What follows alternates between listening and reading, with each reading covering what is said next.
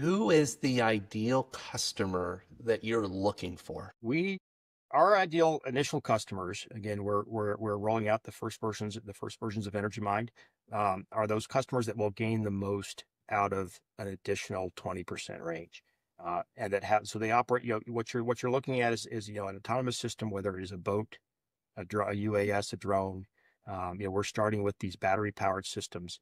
So if you're operating out there and you are operating in variable environments where you have different you have different weather conditions, different uh, temperature profiles, and you have variable mission needs on, on your subsystems. You need to you, know, you need to have sensors or or communications devices or the, you know, the propulsion. All those different things are uh, can be can be regulated across the mission. That's where you know that twenty percent is is could be a lot higher depending on the, the, the variability of that mission.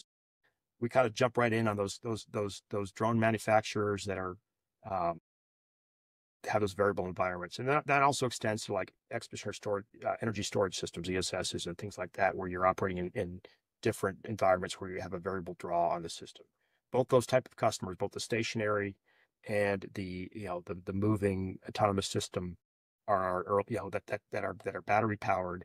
Um, those are our early customers that are going to make gain the most from Primoris technology.